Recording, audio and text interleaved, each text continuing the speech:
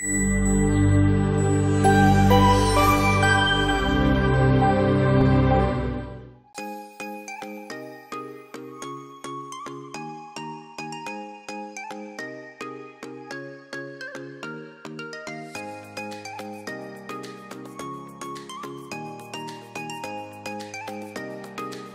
Sekda yang saya hormati, serta Bapak hadirin sekalian saya hormati.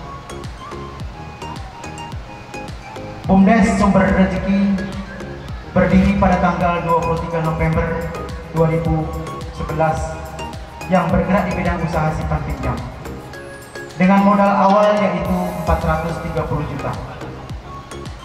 Hingga saat ini mengalami perkembangan per tahun sebesar 1 miliar 164 juta 252.360 rupiah.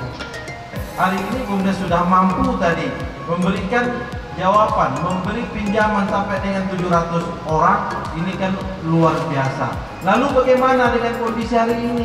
Ternyata ekonomi turun, tunggakan banyak. Yang paling penting itu adalah niat baiknya. Itu dulu yang diselesaikan. Niat baik antara si peminjam dengan niat baik kita di BUMDes.